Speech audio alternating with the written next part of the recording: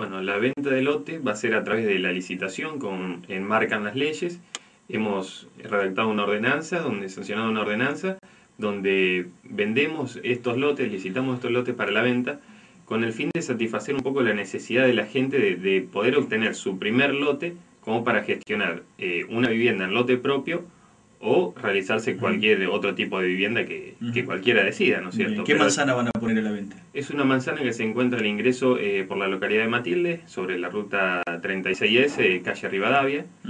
Eh, la primera manzana que está al ingreso. ¿Esto es cerca de donde se va a construir el centro de salud? A pocos metros, 50 metros de donde se va a hacer el centro de salud.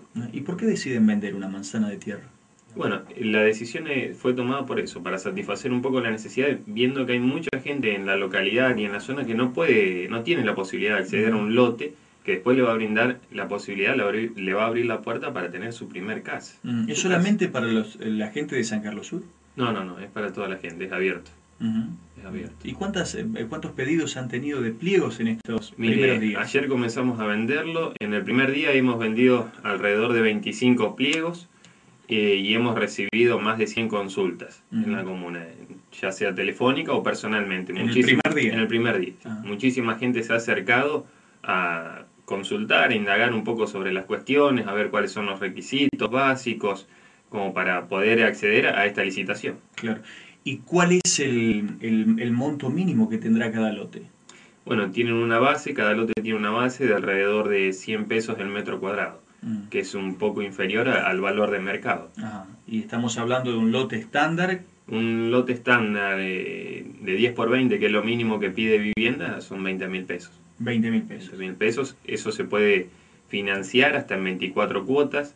Eh, la comuna optó por brindar esos planes de financiación, eh, entregando un anticipo a la firma del boleto del 10%.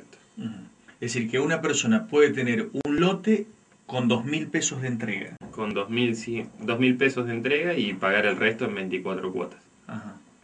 Eh, claro, obviamente van a recibir un aluvión de pedidos. Sí, sí, Ustedes son conscientes de esto. La verdad que hay muchísima gente que se sorprende que de tener la posibilidad hoy de acceder a un mm. terreno, porque hoy si va a una inmobiliaria o, algún particular, eh, los lotes mm. han aumentado muchísimo, eh, o no tienen servicio, algunos otros lotes que se venden, estos van a ser vendidos con todos los servicios, ya sea luz, agua y cloacas. Ajá. Ah, cloacas también. Cloacas también. Ah. ¿Y el, lote más caro que van a tener a la venta, cuánto costará? Y el lote más caro, la base es de 40 mil pesos alrededor.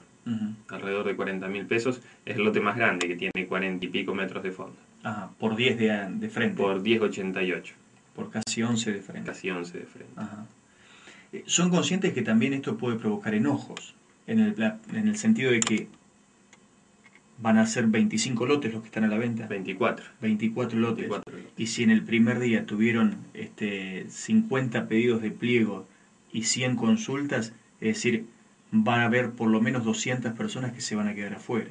Va a haber gente que va a quedar afuera. Por eso hacemos una licitación y le damos la oportunidad a todos. Nosotros ponemos la base la gente puede ofrecer, si quieren ofrecer más, o hacerlo en menos cuotas, ¿no es cierto? Y cumplir los requisitos. Y los sobres son cerrados. Los sobres son cerrados, como cualquier licitación. Por ende, una persona puede ofrecer por un lote 40 mil pesos o puede ofrecer 50 mil pesos. Exactamente. Sin saber que Sin saber la, otra persona, la otra persona por tal lote. Se le entrega una planilla, una carta de oferta. Cuando adquieren el pliego, que tienen que completar y entregar en el sobre cerrado junto a otra documentación que se pide. Al igual que las licitaciones, ¿no siempre gana el de mejor oferta? Tiene que cumplir, primeramente para aceptar la oferta, tiene que cumplir todos los requisitos que se enmarcan dentro del pliego. Una vez que se chequean que cumplan todos los requisitos, después se pasan a evaluar las ofertas. Bien.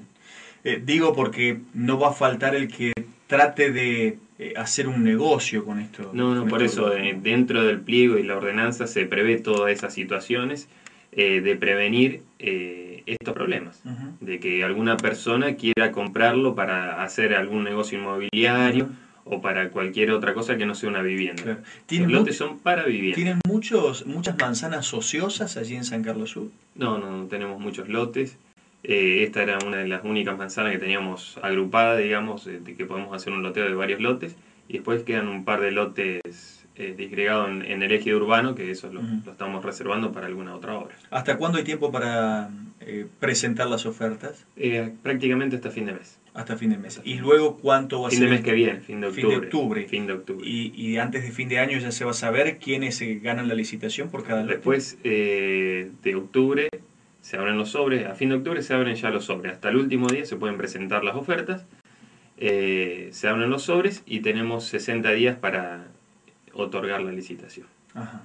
Y, adjudicar. ajá. ¿Y, y quiénes van a ser los responsables de la adjudicación? ¿La comisión comunal? La comisión comunal. En pleno. En pleno, sí, sí, sí. La comisión comunal, junto a nuestros asesores, vamos a evaluar que primeramente cumplan todos los requisitos Claro. para después evaluar las ofertas. Suponiendo que ganan que cumplen todos los requisitos, que son que no son propietarios de, de otros lotes, que no son propietarios de inmuebles.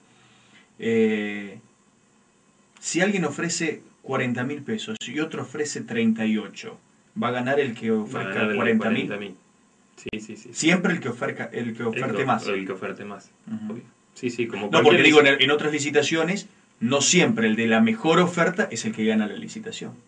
No, no, pero siempre se ve que cumpla los requisitos. Claro, Tiene que cumplir primeramente todos los requisitos y después se ven las mejores ofertas está muy bien. dentro de la gente que cumplió los requisitos. ¿Y tiene una estimación de cuánta gente se, va- se va a anotar?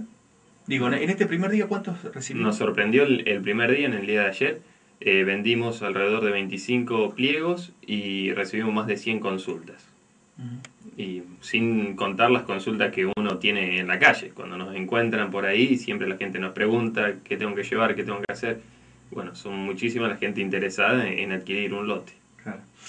Eh, bien, ojalá este, bueno, puedan saciar algunas necesidades, pero esto denota claramente este, la necesidad habitacional que hay. ¿no? Sí, sí, sí, denota claramente la necesidad y por eso fue nuestro objetivo ir acercando a, la gente a que adquiera su primer lote para una vivienda. Supongamos Yo creo que fue un, no es la solución definitiva, pero es una herramienta más como para ir solucionando Claro. esta gran demanda, Claro que que seguramente las demás comunidades tendrán que hacer iniciativas parecidas o mejorarlas, como para que en cada comunidad se genere este tipo de, de situaciones y de oportunidades para que la gente tenga acceso a un lote Claro, y que los lotes tengan un costo tengan un costo real y accesible con planes de financiación, que después se le pueda construir la casa. Realmente hay que estudiar bien las situaciones de cada comunidad y las necesidades de, de la gente de cada pueblo. Eh, Mauricio, usted cuando realiza esta licitación, supongamos que ya antes de fin de año se sabe quiénes son los adjudicatarios, ¿tienen un plazo para comenzar a construir? Tienen un plazo dentro de la licitación, hay un plazo como para empezar a construir su vivienda. Eh, está todo muy bien detallado dentro del pliego y, y la ordenanza que, que regula esta Y si no terminan de construir o si no empiezan a construir. Prevé todo dentro de la ordenanza, la gente cuando lee la ordenanza se, se informa de todos estos detalles. Ah, bien. Es decir, que la idea es poblar San Carlos Sur. Exactamente, la idea es generar más viviendas en, en nuestra comunidad, que San Carlos Sur crezca como lo venimos haciendo desde hace dos años. Ese es uno de nuestros principales objetivos. ¿Mucha gente de la región hay interesada gente o solamente la mayoría son de San Carlos Sur? Son de, no, no, no, mucha gente de San Carlos en general, de, los tres San Carlos. le digo. De los tres San Carlos es la mayoría, mucha gente de San Carlos Centro que se ha acercado y muchísima gente del sur, Bien. obviamente.